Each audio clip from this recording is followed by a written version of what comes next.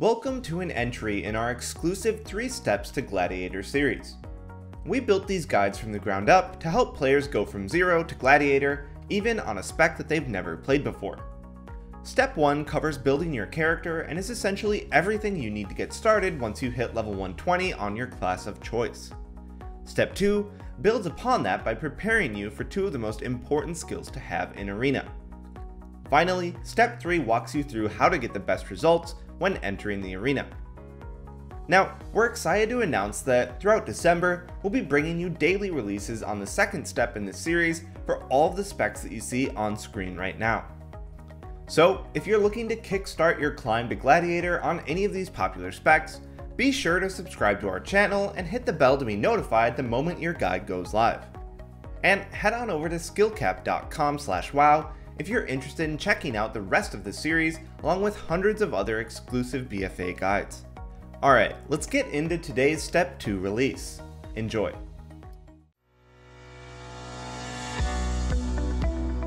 Hello all, Joe Fernandez here for the second of three steps to Gladiator as an Enhancement Shaman. This second step is about preparing for PvP, which involves knowing how to deal maximum damage in arena games, as well as making the most of your crowd control. Firstly, it's important to know your damage rotations, both passively and for burst, as this will lead to having as much damage as possible during suitable times in Arena. Enhancement Shamans rely on burst damage win condition, so it's vital that you know the difference between the two and pull them off properly in games in order to win. So before we move on to burst rotation, it's still important you know your normal rotation. This looks something like this. Number 1, press Storm Strike on cooldown. Number 2, use Rockbiter if at 2 charges. Number 3, maintain Flame Tongue buff. Number 4, maintain Frostbrand buff if Hailstorm or needing the ranged slow. Number 5, Lava Lash as a filler when you have between 60 to 70 Maelstrom. And finally number 6, Rockbiter off cooldown. Now, this is quite basic, with the only major change being to keep a charge of Rockbiter. This is so you can use it in emergency cases, where you need additional Maelstrom for your healing surges to become instant casts. It can also be useful to use when fishing for Boulder Fist procs when playing with that talent, in order to deal increased damage. When it comes to your burst rotation, this is where you'll be using your Feral Spirit, Heroism or Bloodlust, or even Ascendance in order to deal magnificent damage to enemy targets. Your rotation will be number 1, Rockbiter, number 2, Feral Spirit, number 3, Flame Tongue, number 4, Frostbrand, number 5, Heroism or Bloodlust, number 6, Ascendance, number 7, Storm Strike, and number 8, Lava Lashes Filler. It's important to note that you want to ideally split your Heroism and Ascendance cooldowns, as enemy teams will most likely look to peel or use defensive cooldowns during these times. So splitting them up will make it more difficult for teams to deal with, and you could potentially find a scenario where they don't have a defensive cooldown for one of these big offensive cooldowns, allowing you to slay your enemy. Ascendance can also be used differently, as it has a much bigger bang essentially, as well as being able to go through armor and become a ranged attack so you could use this simply when unable to hit a target that you want to burst. In this example, a Windwalker monk is running away from me. As I know he will avoid my melee range for quite a while and is low on health, I pop Ascendance in an attempt to kill him. We force Spirit Link so I kill it quickly and can still finish off the Windwalker due to the power of Ascendance Burst. You could even simply activate it if your enemy target is low and you land a Wind Shear on the enemy healer. Extra crowd control would be nice, but this could be big enough to force defensive cooldowns. Here, against the Shadow Priest, he has no dispersion for a while and Iron Bark is about to fade. So I want to use my shears offensively and Ascendance to create a ton of pressure. I shear the Druid, which allows me to pop Ascendance and slay the Shadow Priest. I even trinket very aggressively in order to have full uptime with my Ascendance, creating immense pressure. Shortly after, I land another Wind Shear on the Druid, whilst the Shadow Priest is within certain death range, allowing me to grab the kill. A big crowd control ability you want to be careful of during Ascendance is Disarm. Disarm is a very powerful defensive tool against enhanced shamans and is often used during your offensive cooldowns. Ideally, you want to have Ascendance without Disarm ready, or if so, make sure you have Trinket in order to break the Disarm. Now, you may be wondering why Sundering hasn't come to the equation yet when talking about bursting your opponent down. It does a ton of damage, so why isn't it in your burst rotation? Well, this is because Sundering has a great utility effect, which incapacitates enemies for a couple of seconds. This is much more beneficial for an Enhancement Shaman as it can be used for utility and crowd control. Against Warlocks, you can shut down a lot of their devastating casts such as Fear or Chaos Bolt. Here, I interrupt a Chaos Bolt with Sundering. Then I interrupt the next cast with a Wind Shear. As you can see, this is incredibly disruptive and reduces their pressure immensely. You can essentially use it as another interrupt, stopping casts even through Aura Mastery, making it highly valuable during Divine Favor or Unending Resolve. You could also use this yourself with a Cap Stun, simply putting down the Cap Stun and then sundering enemy targets close by, ensuring the Cap Stun which will usually land on the targets. Here is an example of this. I put the Cap Stun close to the targeted Shadow Priest.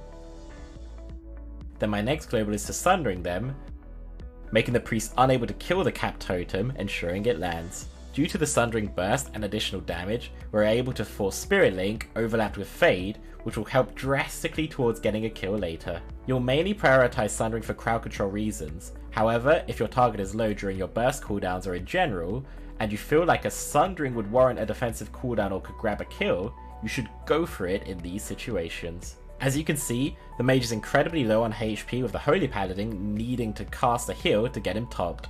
So I use my Sundering in an attempt to kill, which forces out his Cauterize, as well as the Ice Block.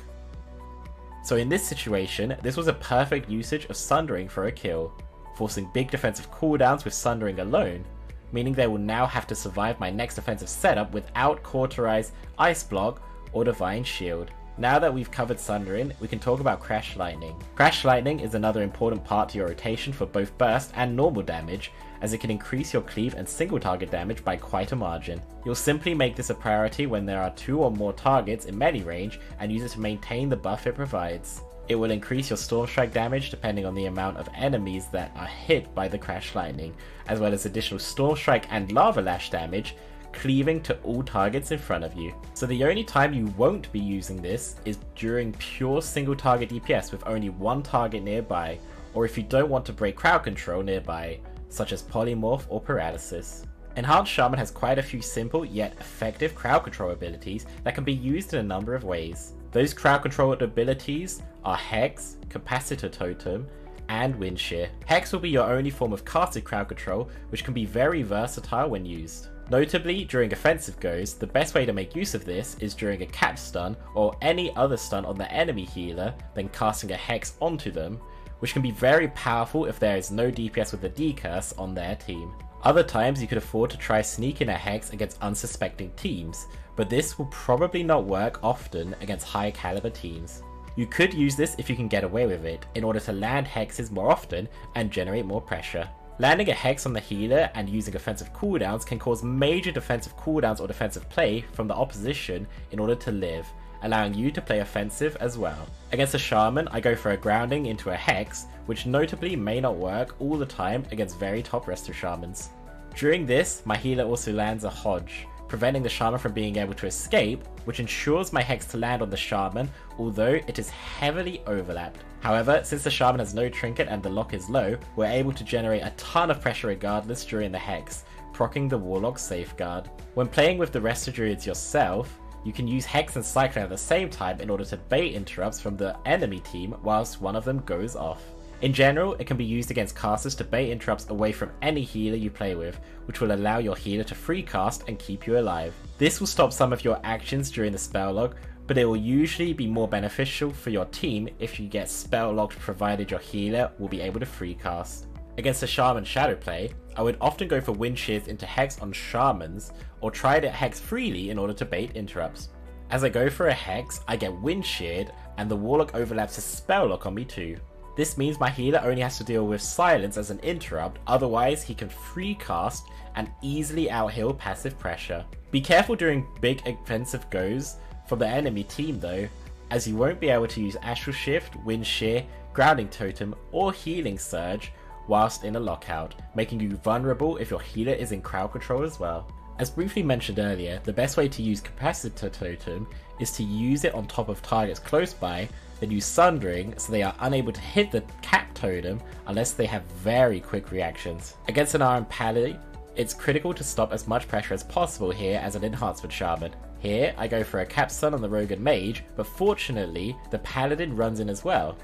Since they are all in front of me, I can land a triple sundering during my cap totem's cast time. This ensures my capstun to land in most cases, however the rogue was unaffected by sundering as he had evasion up, although luckily for me, the rogue didn't kill the cap totem off in time, which meant I landed a triple stun on the entire team, stopping their pressure and allowing us to counter pressure. If being extra careful, you can announce this combo to your team so they don't break sundering, making enemy targets unable to break capstun.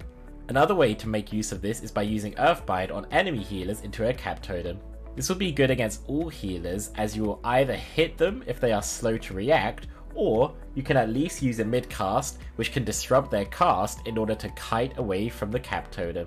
This will also be especially good with a Mistweaver or Windwalker, so they can use paralysis on healers into a cap totem, ensuring it lands with the enemy healer being unable to kill the totem or run out of its radius. This will help gain offensive momentum as the enemy healer will be in quite a chunk of crowd control which can be used to hex out of, but bear in mind it will be half due to being on the same DR as paralysis. Capacitor Totem is a fairly weak cooldown itself as you have to use it on previously mentioned actions in order to make good use of it. Good teams will simply kill the totem instantly if used randomly or without some kind of protection, so be wary of that against teams and practice communicating your cap totem usage so that you can ensure it lands properly on enemy targets. Wind Shear is just the Enhancement Shaman's version of an interrupt, although being on a 12 second cooldown with a 30 yard range means that it's important to use it well, which is in a form of crowd control against certain casting spells. The way in which you use it against other classes can differ, so we'll go over some of the clever uses of it outside of the ordinary way in which we use this interrupt to stop damage or crowd control abilities. For instance, against Holy Paladins, it can be crucial to use when anticipating a Divine Favor free cast. When you see Divine Favor, if you purge it off before the cast ends, then you can instantly shear the cast, denying a big heal. The Paladin uses Divine Favor here, but has two buffs up, giving me a 50-50 chance of purging off Divine Favor. Luckily for me, he doesn't have a fast cast for his Holy Light. I purge his Concentrated Flame, so I go for another purge in order to get Divine Favor off. I get the Divine Favor just in time, allowing me to wind shear his cast, deny healing on the warrior whilst he's low on HP. Now, we can talk about the usage of wind shear in general terms. This can be quite situational or even comp dependent in the way you use it. When playing defensive comps, you will most likely use it on interrupting crowd control or stopping big damaging spells to reduce pressure. An example can be against a rogue mage, where you will need to stop crowd control in order to live their offensive goes and prolong the game. In offensive goes or when playing aggressive comps, you'll want to save it for healers in order to interrupt their burst healing or start a crowd control chain on them in order to lead to a more likely kill. This is incredibly useful when you or your team have offensive cooldowns and crowd control for the enemy healer in order to make an aggressive go, most likely forcing big defensive cooldowns or grabbing kills. In this example, as we're DPSing the Shadow Priest passively, we get to a point where he's relatively low on health before an offensive go, as well as having no dispersion, no earthen wall totem, and no fade for a few seconds. You can also see that my team is doing well defensively and there are no devastating offensive cooldowns ready for the opposition. So in this situation, I want to play offensive, so I will save my shear for the healer. I then land my wind shear on the shaman and with some Stormbringer proc burst, I'm able to crush the Shadow Priest. Here's an example when to use a defensive wind shear. So against the Destro lock, Infernal is known to allow Warlocks deal devastatingly huge damage with their Chaos Bolts, so it's to be avoided as much as possible. So when I think he will get a Chaos Bolt off, I then eventually use my Wind Shear on the cast after using a Sundering on one cast too. Note that ideally you should use your Wind Shear first before using a Sundering, as it's better to use your low cooldown interrupt first, so that you have more interrupts overall in a game. To summarize, when using wind shear, it's important to watch the pace of the game and change it up when you need to. Throughout a game, you will most likely use it both defensively and offensively no matter what comp you play. Some comps may require more defensive usage of it or offensive usage, depending on how you are most likely going to win your matchup. Using it appropriately with the examples mentioned before will lead to more success for you and your team. So be smart with it and try not to let it go to waste. And that's step 2 of 3 steps to Gladiator as an enhancement shaman. Make sure to check out the third and final step of this guide when it comes out, and feel free to ask any questions down below. Thanks for watching, and I'll see you on the next one.